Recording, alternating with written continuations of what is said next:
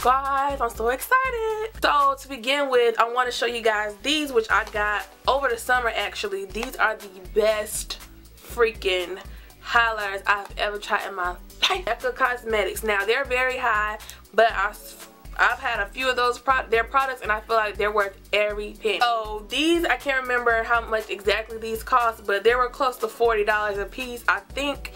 And I'm cheap as heck, so you know it was good when I bought two of. This is the color Topaz right here. So you can see it's more of like a goldish shimmery color.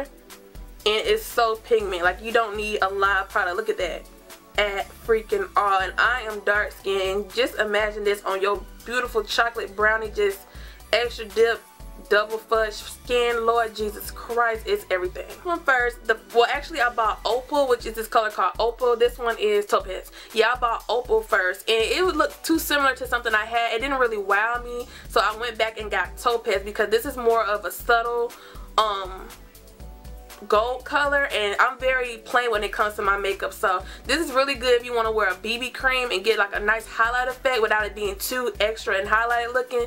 This is absolutely flawless I would even wear this by itself color I got right here this is champagne gold by Becca and this is the second one I got. This is a limited edition color right that that is absolutely amazing. Like this is champagne gold. Now this is more of a going out type highlighter, but you can also wear it to the point that it's subtle and wearable for every day. Look at that. It is so freaking gorgeous. I am obsessed with these highlighters. That's with NARS. Um, I think it's called Albatross highlighter. And I've had that one since 2012, I want to say. And I still have it. So just imagine how much product you get in these and how long these are going to last you. Here, so I'm going to put just a little bit. See how that pops? You can just take your finger and just swipe it across your cheekbone it's absolutely flawless. Like I absolutely love it. And the problem that I have with some highlighters a lot of them spread a lot. So you see me putting in this one area. By the end of the day it's right here it's over here it's in your hair. It spreads so bad but these do not spread. Wherever you put it is where it stays at. So these were like my ultimate best purchases of makeup that I did over the summer. Like I don't know where I've been but Becca is definitely worth every single penny. This product I purchased and I got this about three weeks ago. This is Perversion Bigger, Blacker, Badder Urban Decay Mascara. Now, this isn't my favorite. I'm more of a drugstore girl when it comes to my mascara. This the reason I do like this is because it's super super black it's buildable but it doesn't really give you that oh my god you got fake lashes or them real they don't give you that like questionable effect I find myself putting this on top of my drugstore mascaras like um, Miss Manga, I think that's what it's called, and the Butterfly. Those are my two favorite mascaras in the drugstore. So I'll put those on first and then I'll top it off with this because it gives you that extra deep dark effect and it doesn't spread that bad but it's kind of really wet so I don't think it's worth the money honestly but if you happen to have it in your kit it, you know, you'll use it, but you won't just go back and buy it again. So, I mean, I don't think it's a bad purchase, but I wouldn't purchase it again because it didn't make my eyes pop. So the next product I have, I'm totally obsessed with. I've been using this product since the beginning of this year. This is the Design Essential. First of all, I'm a huge fan of their products. I love their products from their edge control to their shampoo to their therapeutic scalp treatments. I love everything Design Essentials. So I bought this again. This is only my second bottle because the other bottle lasts me literally since I got it. I think in, back in February. The same one bottle lasts me that long. And I use it on my clients as well. So I got another bottle of it. I feel like they overcharged me. It's $20 and I feel like this don't be that much in Sally's, but whatever.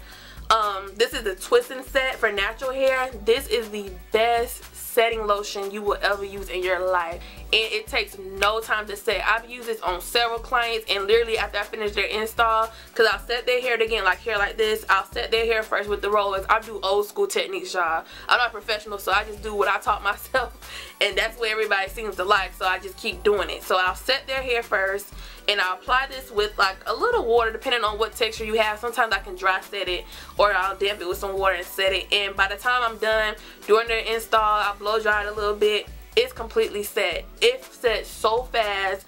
It's not sticky. It's not hard. It's gorgeous set curls. Like I left the house about 12 p.m. today and right now it's about let me see 9:30 at night 9:30 and look at my curls. They're still in place. They're shiny. They're not hard. And you know my blending technique. So if you don't know check out my tutorial I have it on my channel how I blend my hair the same way I've been doing for years and this is sent from heaven like Oh my god, I absolutely love this setting lotion. The hair store, if you've been watching my hair tutorials, I've been in love and obsessed with the Care Care Wax Stick for years.